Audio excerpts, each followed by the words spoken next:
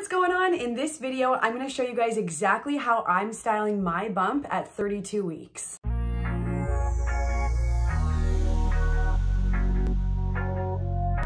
So being like five and six months is all well and good and cute and you have like this nice little, you know, round bump. It's obvious that you're pregnant, but it's not like this huge thing yet. And it's like somewhat easy to style that. You still kind of can fit into your old clothes a little bit depending, maybe not pants, but other things. And then you slowly start to creep up to like eight months, eight and a half months, and then nine months. And it's no longer easy anymore. You need full-blown maternity clothes and you have a watermelon in your stomach. So this video is really for styling the huge big bumps. I found I couldn't really find a ton of content on this. A lot of bump styling videos are more in like the five, six, possibly even seven month range.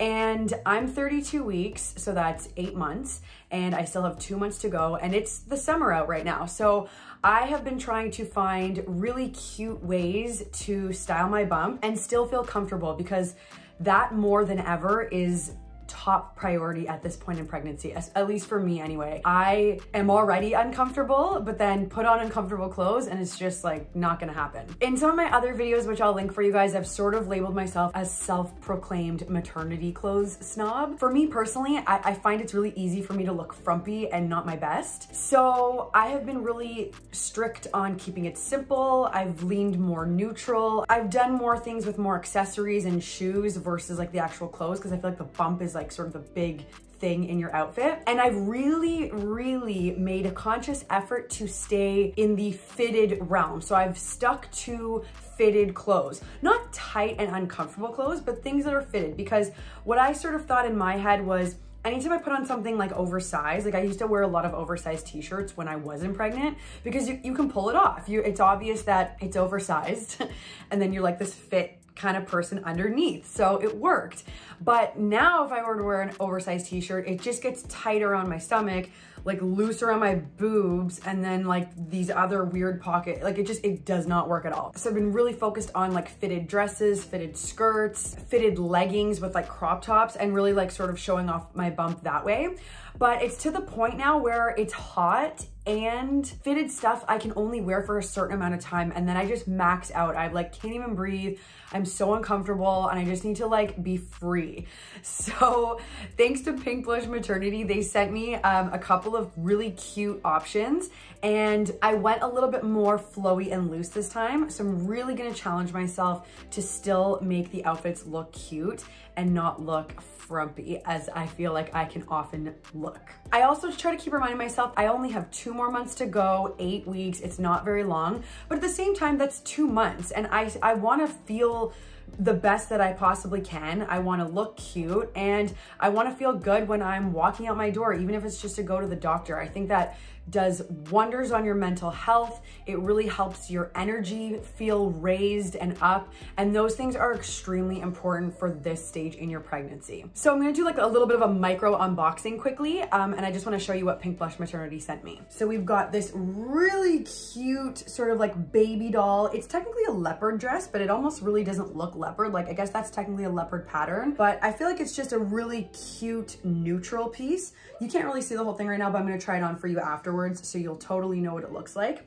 Uh, so we were working with this and it's good to note that I got this in a medium. I find their stuff fits very well and it's true to size. Even when I looked on the website, the model that was wearing this is 5'9", and she was wearing a small and I'm only 5'6", so I was like, should I get a small? But then I'm like, you know what? If we're gonna go loose, let's just do it properly. And in case I grow more in the next two months or whatever, I just really wanted to make sure that I had enough room and enough space to just like feel good because I have fitted clothes that I can just wear if I want to wear something fitted. So this is the next piece. I'm calling it the camel romper. It is a very beautiful summery sort of like camel color and it's just a very simple, comfortable romper. So you can see that it's connected there.